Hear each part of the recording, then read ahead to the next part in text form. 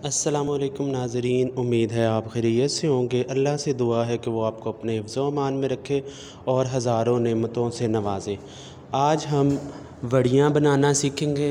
ये क्या चीज़ है? ये दाल और कीमे को मसाला जात में मिक्स करके हम खुश कर लेते हैं और खुश करने के बाद ये ड्राई हो जाता है। इसको आप सेव कर सकते हैं, दो महीने, तीन महीने, फ्रीज़ कर लें छः महीने तक भी सेव कर सकते हैं। बहुत ही आसान रेसिपी है, मज़ेदार है, टेस्टी है। इसको बनाने के लिए सबसे पहले आपको एक किलो कीमा चाहिए बीफ का। उसके अंदर चार हरी मिर्चें, दो अदद प्याज चने की दाल, एक पाव आपने ढाई से तीन घंटे के लिए भिगो के रख देनी है। कीमा बीफ का आपने लेना है। प्याज, दो से तीन अदद, अदरक, लहसुन का पेस्ट, नमक, काली मिर्च, सुरख मिर्च, दरा मिर्च और पिसा हुआ धनिया आप टेस्ट के मुताबिक डाल सकते हैं। मैंने एक एक चम्मच डाला और काली मिर्च आधी चम्मच। एक पाव मैंने दाल चॉपर में डाल दी है। इसको ढाई से तीन घंटे के लिए आपने पहले पानी में भिगो के रखना है ताकि ये नरम हो जाए। दो अदद मीडियम साइज़ प्याज और चार अदद हम इसके अंदर साबुत हरी मिर्चें शामिल करेंगे। और इसको अच्छी तरह चॉपर में हम चॉप कर लेंगे ताकि ये बिल्कुल बारीक पेस्ट बन जाए। आप ये देख सकते हैं चॉपर में अच्छी तरह ये चॉप हो गई है। बिल्कुल आपने पेस्ट फॉर्म में नहीं बनाना, थोड़ा सा दाना, हल्का सा बारीक सा रखना है, जो आपको बड़ा ज़बरदस्त टेस्ट देगा।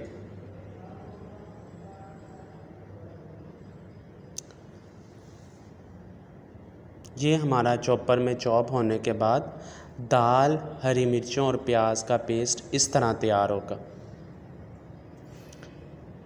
इसके अंदर हम डेढ़ से दो चम्मच अदरक लहसुन का पेस्ट शामिल करेंगे।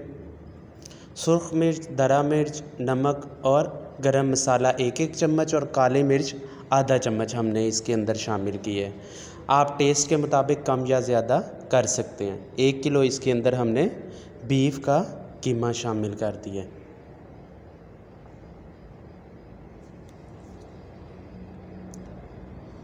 तमाम अज्ज़ा हम इसमें डालकर चॉपर में मिक्स कर लेंगे ताकि तमाम अज्ज़ा यकजान हो जाए। इसमें दो चम्मच ज़ीरा इस वक्त शामिल हम करेंगे।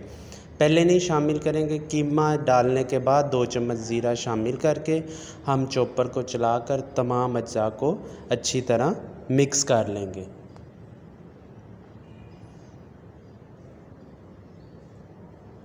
अच्छी तरह मिक्स हो जाएँगे। जब तमाम अज्जा तो मसाला के जो अज्जा इसमें डाले हैं, वो अच्छी तरह कीमे के अंदर शामिल हो जाएँगे। आपके सामने ये चॉप होकर हमारा मटेरियल तैयार है, जिसमें चने की दाल, कीमा और मसाला जात शामिल है। ये इस शक्ल में हमारा कीमा आ जाएगा। आप ये देख सकते हैं, बहुत ही आला और उम्दा रेसिपी है। बहुत से लोगों को बड़ियाँ बनाने नहीं आती, उनके लिए बहुत ही आसान तरीका है। हमने बाउल में इसको निकाल लिया पेस्ट को और इस तरह हम इसकी ये तमाम अज्जा इसके अंदर यकजान हो गए हैं।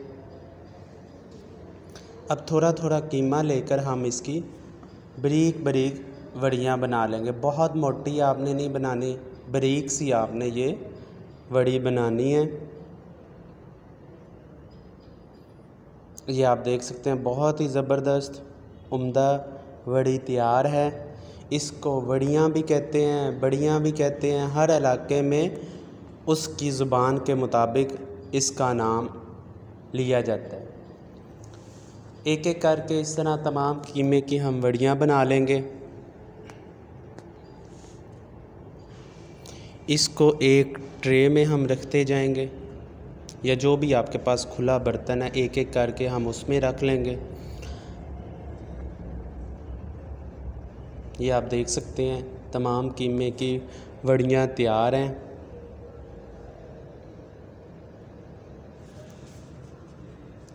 इसको खुश करने के दो तरीक़ेकार हैं। अगर आपके इलाके में धूप ज़्यादा है तो आप इसको धूप के अंदर रख कर खुश कर लें।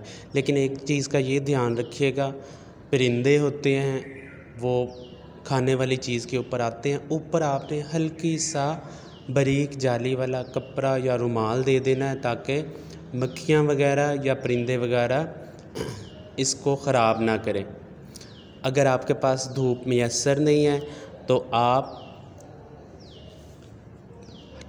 पंखे की हवा में इसको खुश कर सकते हैं इससे आप सालन बनाएँ चावल बनाएँ खुश करने के बाद बहुत ही ज़बरदस्त बड़ियाँ बनेंगी